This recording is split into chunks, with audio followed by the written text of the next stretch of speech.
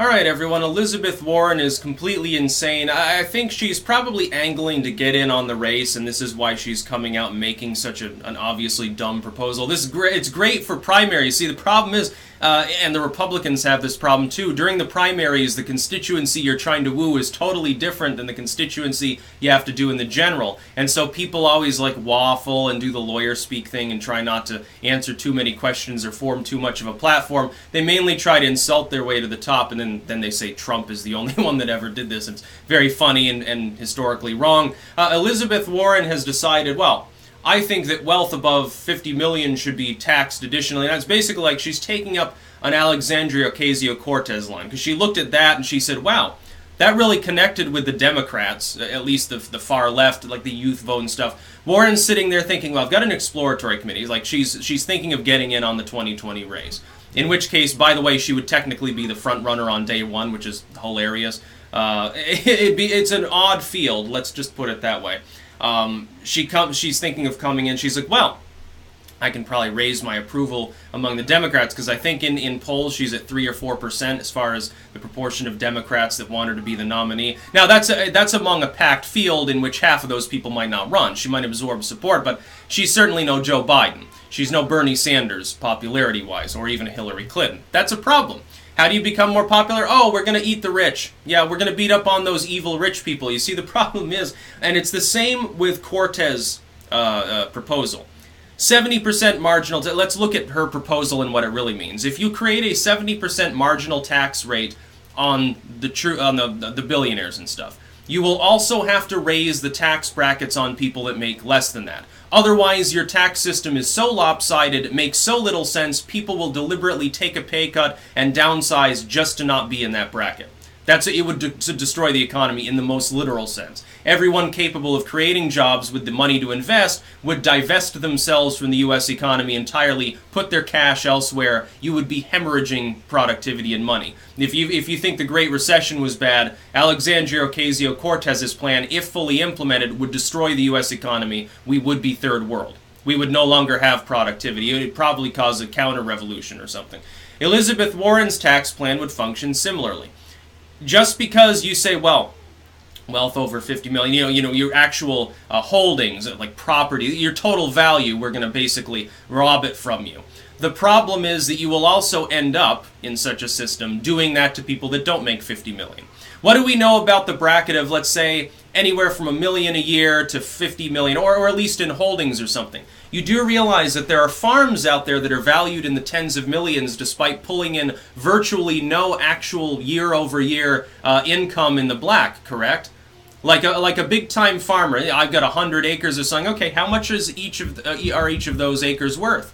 $10,000, $20,000 in some cases? That's a lot of money now, isn't it? On paper, that farmer's damn rich. See, the problem is, year over year, their actual productivity, though high, and though subsidized by the government, barely make ends meet. You gotta buy the seed. You gotta buy the fertilizer because people haven't, you know, gotten hip to crop rotation and, and companion planting yet. We, we haven't developed the technology yet to plant two crops in the same field and still harvest them.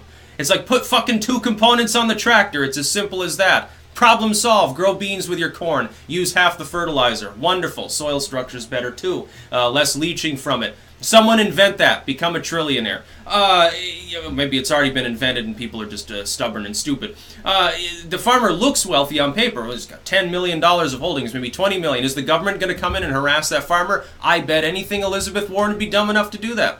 Small, like a regional business. Oh, I got like five, six gas stations. You know, maybe I make like, you know, a couple hundred grand in, in the, the black a year. Okay, person again is going to look rich on paper. And they're productive. They're hiring a bunch of people. They probably have how, how many people work at each of those stations? They got 30, 40 employees or something. You know, a bunch of other, you know, truckers come in. They get contracted to do that. They're making their money. They come in, provide the goods. Other companies come in. People buy those goods because they want to, because they're productive members of society, and the money keeps flowing around within this private marketplace. That person who owns those gas stations and a, and a condo in addition to their first home looks rich on paper. They're also very productive. The amount of productivity they're pumping into the economy is incommensurate with the with the actual amount of uh, holdings that they have anyway. It's good. It's it's good to be wealthy if you're you know being productive with it. You're investing, you're causing more jobs to be created or whatever. Uh, really, when consumer confidence and business confidence is high, that tends to be to happen. When those things, when people like Elizabeth Warren are elected and come in talking about how they hate the rich and those evil rich people, including Elizabeth Warren, isn't she? How much is she worth? How many tens of millions does she have in holdings? Okay, she's going to give them up. Now she'll use a tax shelter. Let's uh, yeah, exactly. G- uh, great idea too. Like when Bloomberg proposes, you know, higher taxes, he's not going to be the one paying them. No, he he'll use a tax shelter. Oh no, my money's in the Cayman Islands or Bermuda or something. You know, I don't have to pay taxes on it. Yeah, I get a home over in Belize or something. Yeah, I don't pay any U.S. taxes on it. Yeah, I enjoy all of the benefits of, you know, basically owning half the Senate, say, say, all the rich people. What a wonderful time. And Elizabeth Warren's rich too. Look up her net worth. How much is their net worth? If she's in, uh, impacted in any way, don't you think she'll take some of that wealth, squirrel it overseas to avoid that? I know I would. Let's say that I had a uh, hundred million dollars in in holdings, regardless, of a couple homes, a limo, fucking fleet, or I'm, I'm rich, you know, like super rich. Let's say the government comes out and says, "Well, we're going to start taking away a large proportion of all your holdings over 50 million a year over year, or, or maybe it's a one-time thing." Okay, I don't have over 50 million in holdings because I just put them somewhere else. No, no, no. My bank account. I, I transferred all that money to France or something. Yeah, no, it's it's in uh, uh, Cyprus. It's over in uh, Qatar. yeah, you can't touch it. You're not going to tax it. You think they're going to grandfather it in for money that was there a year before? No, it's not going to happen. You realize how slowly things move in government anyway. The mere proposal, let's say you had President Warren and the Democrats take the center zone, and she's made this suggestion. A lot of rich people are going to start moving a hell of a lot of their assets overseas, and there won't be a way to stop them. You'll see the economy collapse beginning day one of Warren's administration. What a wonderful time. Yes, the, the uh, new head of the IRS, Alexandria Ocasio-Cortez. She will break your kneecaps backwards and then dance on top of you uh, if, if you don't uh, pay your taxes, your 70% tax rate. But that's only the marginal rate. Okay, how many deductions are you going to put in there, by the way, if you do that? So you want to give more deductions to billionaires. You want the tax code to be even less straightforward.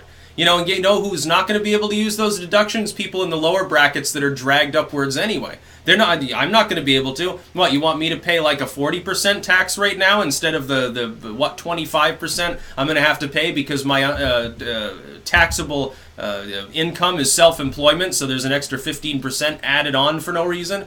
Yeah, that's how much sense our tax code makes. Give me a fucking break with Elizabeth Warren worrying about other people's uh, productivity. It's very funny when these people, literally, they're openly coming out and talking about their fellow Americans who have succeeded as though they're bad people, as though they're universally corrupt. Yeah, richness and corruption can go hand in hand, but not every working rich individual, not every physician who makes a quarter mil a year uh, and, and has to pay half of that back out for insurance purposes. No, no, they're not corrupt at all. They're very hardworking. What, work 50 hours a week? It's a lot more than Elizabeth Warren will ever work. That's about all. Peace out.